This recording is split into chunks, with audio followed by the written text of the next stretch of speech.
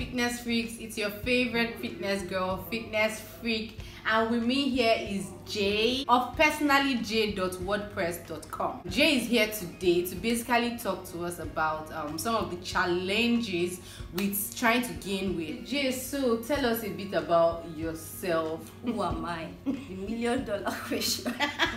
For now, I'm a research personnel and communications officer. I work freelance with NGO. Please hire me. Okay. I work freelance Hire her if with you have an NGO. NGO. She's a research expert. I have a blog. I like to write, mostly creative writing and stuff. So I like to write. And I'll leave a link of your blog in the description That so you can check out her blog. She's a oh great God. writer.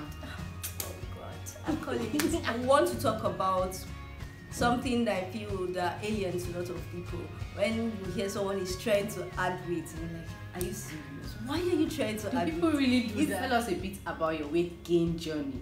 Sounds so strange to me because I'm, I'm used to weight loss journey. I think for me, let me remove these glasses because I'm wearing lashes. I want to pop. Papa. I've always really liked my size. I think I stopped. I stopped. I started having an issue with my size in 2014 or 13 after university, and I realized I have really lost weight. I was underweight then. I was like 18 or something when you check your um what do you call that BMI. BMI yeah BMI. So you Body were like mass. at the lower range. Yeah, That's I was, like, underweight. underweight, Meanwhile, Jay and I went to uni together, and I know that right from time, Jay, your weight has never gone above 50. No, oh, it's, it's like between the 48. If I'm at 48, I am fine. Even at 47, I am fine. okay. So it's But ideal. I have gone as low as 43, and that was madness.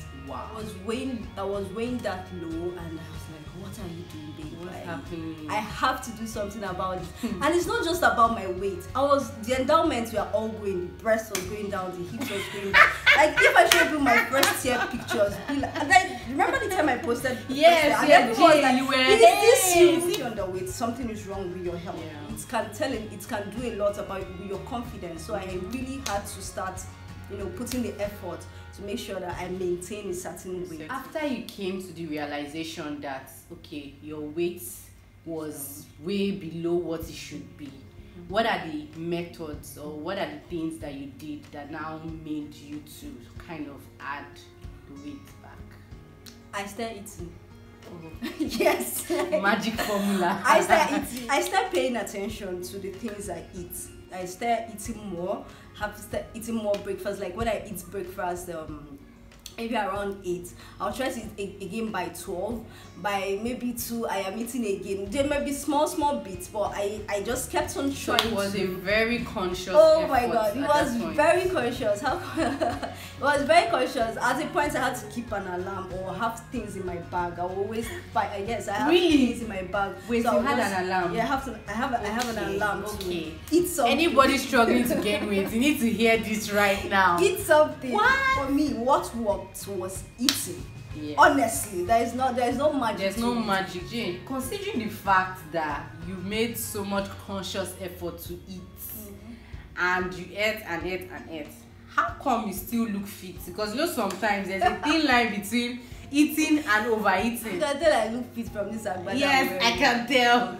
I I do exercise. Yeah, once in a while, not like all the time or every day, but I try my best, like three Yes, times. a and. Jay is a very committed member of the fitness freak Yes, so- community. yes, so so- shout out to other she, members. she inspires me. She inspires me like Aw, oh, that's, she caught me doing um what was that? Plank. Plank. Yes, she was and I'm doing very plank I can go for two minutes if you want to challenge me. Whoa! Yeah, holla. It's a challenge, it's on. Holla. Do you want to plank with Jay? Sometimes my work requires I'm on field, so I go from one destination to the other and purposely um, don't take transportation just to work. Hey, in the name of keeping fit, at least it's in my head. Let me say the story of that day you took me to the gym. That day we were, I don't know how many, well, whether that was even up to one kilometer that we ran, and I was, I almost passed out. It felt like I was, this is it for me. But I made it. And this was just us running to the gym. running to the gym oh i don't even understand you why you people running to the gym it don't make sense Warm up. I think for the rest of how many hours we spent in that gym, I was active. Yeah. Like yeah. I got myself. I actually I it saw to you. so that workout Even was did some leg raises. That one you were yeah, suspended. yeah. and- Like I had mad fun that day at the gym, but it ended up being fun. So mm. why I'm mentioning this because in my head I thought I was fit. Whatever I was doing was not enough, and I found out that day. So after then. I tried doing other things. To your question, am I fit? I can be better. Let me be Okay, honest. Now, with all your weight gain experience, please tell us what advice do you have for people who want to start like a weight gain journey? First of all, I'll have to say, don't listen to all the people that will tell you, don't. Why are you trying to gain weight? if you feel in you as in health wise or whatever that you need to put on some weight, By all means, please go ahead and say eat. Protein does it for me. Eat, eat, Food are high in protein. Protein helps to build on muscles and it just helps to form the bulk that would make you look fleshy. Energy dense meal. exercise. I should you should weight lift. Weightlifting. Go all in into weightlifting. All in. Build that muscle. I actually know someone who was slim before and she started lifting weights and I was shocked when I saw that she had so much flesh on. Calories. You should increase your calories.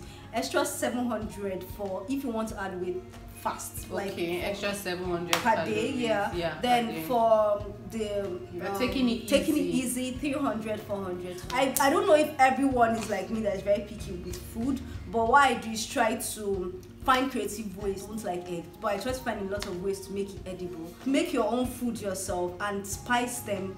Well. I realized that eating with a fork, I take smaller portion like into my mouth.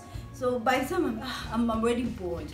I'm already tired. I decided to start using spoon. Spoon will take So you bigger, yeah, we'll and you now eat for a And I'm- shorter and I'm eating for a shorter time. Like, don't drink water before eating, so my stomach will have space to Mhm. carry everything. all the Everything carbs when. I'm done eating. I try to reward. You know, people reward themselves with so I love, I love meat here, but I, I reward myself with food. I'm thinking, ah, there's smooth in the fridge.